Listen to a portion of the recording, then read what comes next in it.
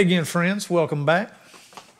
My name's Chuck Jones, coming to you from West Nashville, Tennessee. Um, appreciate you watching. Be sure to subscribe to my channel on YouTube if you get a chance and hit the notification bell. Uh, so I'm, I'm going to do a fourth video here that has to do with uh, the CAGED chords in the open position. And this one's going to, I think the last video, or just recently I did one on the chord progression of 145. Well, this chord progression is the uh, 251. Uh, I'm going to start with C here, and then we'll go through the CAGED chords C, A, G, E, and D. And the reason I'm using these, just these five chords, obviously there are more chords that you'll you'll learn these two, but once you get it down with these five chords, you know all the positions there are. But within one three fret area on the guitar, any one three fret area, you can play pretty much any key in five different, you know, pretty much any key, knowing this cage system. So, um, so diving right into it here. So, in, um, in the key of C, you have a two chord is D minor, then your five chord is G major, and C back to your C chord. Key of A, so we go up to the second tone in the A scale one, two, three, four, five, six, seven octave. That second tone is a B, so our two minor is B minor, and then three, four, five is E back to A. So we have B minor, A. Um, in the key of G, the two minor would be A minor. Uh, the five minor would be D, back to your G chord. So you'd have A minor, D chord. That's your 251 in G. In the key of E, the two minor is F sharp minor, and the five is one, two, three, four, five, B. So you got. Um, then that leads us back to D, the last letter in CAGED, and the two minor in D is E minor. You got D, E, F, F sharp, G, A, B, C sharp, D. So two minor would be E minor. Five uh, chord would be the A chord. So the, uh, uh, you have two minor, um, one, two, three, four, five is A. So you have two minor E, A is a five, back to D, which is the one chord. And if you're going to use these, uh, if you're going to do the two five one progressions with uh, seven chords, then uh, it would be in the key of C. It would be D minor seven, G seven dominant, A and C major seven, or just C major. Then you go to G. You have a A minor seven. I'm sorry. Go to A, and you have D B minor seven. is two chord. E dominant 7 is a 5 chord back to A major 7. Key of G, you have A minor 7, 2 chord, D7 for your 5 chord, G major, uh, G major 7 or G major whatever as your 1 chord. Key of E, you've got F sharp major 7, B dominant 7, E. Then in the key of D, you have E minor 7, A dominant 7, D major 7. Now you might notice um, you can get some, you can expand these this 251 to come up with uh, larger chord progressions. So, so once again, C we have D minor, D, ma D minor 7, G dominant 7, C major 7. So what if then we go down to C relative minor, which is A minor, the sixth minor. So that'd be two minor seven, five seven, one major seven, six minor seven, right? So you got a D minor seven.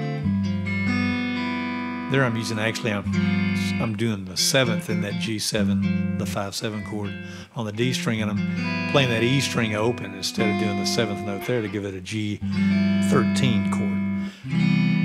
C major seven, a minor 7. In the key of A, this progression would be B minor 7, E7, A major 7, then F sharp minor seven because that's the sixth minor in A. Remember, I said uh, in a video recently to, to determine a um, a major chord's relative minor, just take the tonic of the major chord, go down three half steps or a minor third, and there you have your your relative minor. And conversely, if you're looking for the relative major of a minor chord, go up a minor third, and there's your relative major. So, um, in the, that's A. In the key of G, to do a two minor, five, um, six minor progression would be A minor seven, D seven, G, E minor seven, which is the relative minor in the key of G. And then the key of E, you'd have once again F sharp minor seven. A lot of times when I'm playing F sharp minor chords, guys, I'll turn it into an F sharp minor 11. It just works real well on guitar because you can play those, the B and the E string open and just put those, and I'm not actually, I'm not playing that A string. I'm muting it with my middle finger. Real nice sounding chord. And you can actually go from there to the 5-7 chord and make it a sus chord instead of resolving that, you go. Then go to your one chord, and your six minor here would be C sharp minor. You can play it there with a bar. It's like a C, C shape, but C minor. And I'm instead of doing the five up there, I'm putting the flat seven on the G string and barring like an A bar there, coming back on the A string with my third fret, fourth third finger, fourth fret, um, pinky fourth fret on the B on the G string for the flat seven. So it'd be um, um, once again F sharp minor, 11 maybe, or 7 to B7, or B11, or B sus to E. You can do it E major 7 there to C sharp minor 7. That's in E. Then in um, D, you would have a E minor 7 for your 2 minor, A7 dominant for your 5, D major 7 for your 1 chord, and B minor 7 for your 6 minor chords. Go down a minor third, and I got that B minor 7 as the relative minor for my D major 7. So once again in C, we have D minor, G dominant 7, I'm sorry, C major 7, A minor 7. Key, uh, key of A, we have B minor 7, E dominant 7, A major 7, F sharp minor 7. Key of G, you have A minor 7, D 7, G major 7, E minor 7. Key of E, you have a F sharp minor 7, B dominant 7, E major 7, C sharp minor 7. You can also move that C sharp minor up here to a A minor position, C position, but turn it into an A minor. Course, at the fourth, at the fourth fret, that A minor becomes a C sharp. A, B, C, C sharp. I really like this fingering myself right here at the second fret. And you can actually do that even differently. Instead of having the tonic on top, you can put another minor third up there. So you're doubling that E note, which is a minor third in C sharp. So in E, once again, you'd have F sharp minor 7, B dominant 7, E major 7, C sharp minor 7. And then in D, of course, you got E minor 7, A7, maybe put a color note like a, a sharp 5 in there for an altered dominant five chord, uh, dominant a five dominant seven chord, then D major seven to a B B minor seven for your sixth, uh, E minor, A seven, D major seven. You can do it like that with the D open, D string open, or you can make the C shape at the second fret and just leave that bar there. Still don't don't use your middle finger and that sets you up pretty nicely for that B minor 7 chord. Um,